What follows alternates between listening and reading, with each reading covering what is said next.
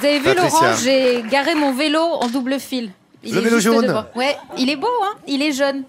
Et ici, donc, euh, tous les transports publics euh, se sont parés de cette belle couleur jaune, le yellow, parce qu'il fallait faire moderne, sûrement. Donc, C'est pas le, vélo, c'est le yellow. Le yellow. Tu voilà. prends ton yellow Oui, bien sûr, j'ai pris mon yellow. Donc tous, ces, tous les, les véhicules que vous voyez circuler euh, de couleur jaune dans la ville, en fait, euh, sont en, en éco-partage. C'est-à-dire qu'on peut louer les vélos, on peut donc euh, forcément il y a, il y a les bus qui peuvent être empruntés, il y a les voitures électriques et il y a même, on va le voir, euh, des innovations euh, qui surprennent euh, forcément les touristes euh, qui sont de passage. Pierre nous en a parlé au début de la semaine. Euh, la ville de La Rochelle a toujours été euh, pionnière en matière de, de, tra- de transport alternatif. Et je ne sais pas si tout le monde s'en souvient, mais c'était parti un petit peu euh, d'une blague d'un pari avec l'équipe d'envoyé spécial en 1997. Regardez, on va se rafraîchir la mémoire. La Rochelle voit la vie en jaune, que ce soit en voiture, en vélo, en bus électrique ou en bateau. La cité maritime est aujourd'hui à l'avant-garde en matière de transport urbain. En 1997, Michel Crépeau organise la première journée sans voiture. Deux piétons, ils se serrent la main. Deux cyclistes, ils se font au haut. Tous les gens qui sont dans des voitures électriques, ils ont l'impression qu'ils sont les représentants du futur. La bonne humeur, eh bien, je crois qu'il faut réapprendre à vivre en ville avec le sourire et la bonne humeur. Et les grincheux, on n'en a rien à foutre. Depuis ce matin, plus aucun véhicule à moteur n'était autorisé.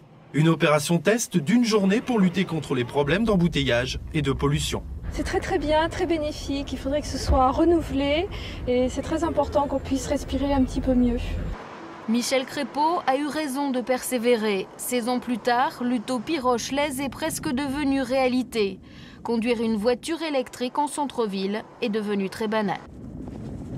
On est vraiment sur la bonne voie, oui. On évite les PV, euh, les histoires d'assurance, les réparations, les soucis, euh, tourner pour se garer. euh, donc, euh,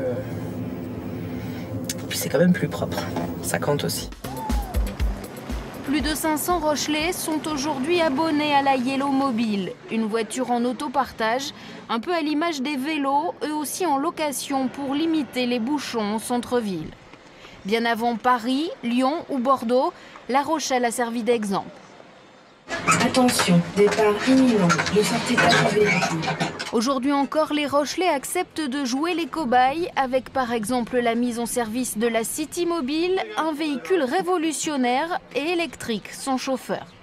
Lorsque quelqu'un monte et donne une destination, il connaît, il génère une trajectoire et il va exécuter avec son ordinateur. hein, c'est l'ordinateur qui va en permanence suivre la position du véhicule et euh, le faire avancer, le faire tourner, etc.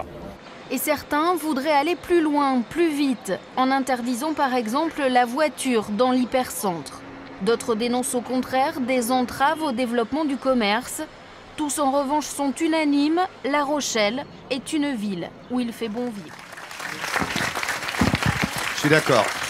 Alors, est-ce qu'il fait meilleur vivre à La Rochelle qu'ailleurs? Je sais pas. En tout cas, c'est vrai que quand on vient en tant que touriste, quand on vient faire les magasins, quand on vient se balader, franchement, c'est très très sympa. Le vélo, Non, euh, les bus arcades là-bas. les Tout est beau, quoi. Voilà. plus, hein. Après, quand on habite en deuxième couronne et qu'on doit venir travailler Ah oui. à La Rochelle, c'est plus compliqué. C'est vrai qu'il y a pas mal de bouchons. Il faut prévoir quand même euh, du temps. Alors, la municipalité a installé euh, des parkings un peu en périphérie. Donc, on pose sa voiture, comme on a vu euh, dans leur reportage. On prend le bus et à ce moment-là, on se rend en, en bus euh, à l'intérieur euh, de la ville. Tu sais que c'est de plus en plus fréquent. hein. Beaucoup de villes le font. Regarde à Nantes, euh, ce, ce- ce tramway. euh, effectivement, tout le monde a hurlé Eh bien, au la début. première en fait, ville, c'était La Rochelle. Mais oui, Voilà. non, mais ça fonctionne très bien. hein, Alors, est-ce qu'aujourd'hui encore, euh, parce que le débat il est là, est-ce que La Rochelle reste euh, une ville euh, Performante. performante et précurseur en la matière? C'est vrai que tout le monde a un petit peu copié.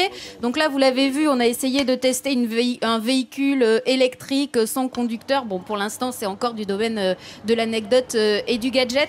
Mais euh, sachez qu'il y a quand même 10 millions de trajets par an qui sont effectués. Donc ça veut dire que c'est le quotidien de la vie des, des Rochelais et qu'aujourd'hui, tout le monde s'est un petit peu approprié ce mode de vie-là. Est-ce que ça va continuer La municipalité, le, le maire qui ne se représente pas, donc il va y avoir une nouvelle municipalité, un nouveau chef de file? On verra bien, mais en tout cas, on, travaille dans ce sens-là. Merci euh, Patricia. En tous les cas, ville innovante, précurseur que La Rochelle. On pense à son maire euh, Michel Crapeau qui avait tout lancé au début des années 70.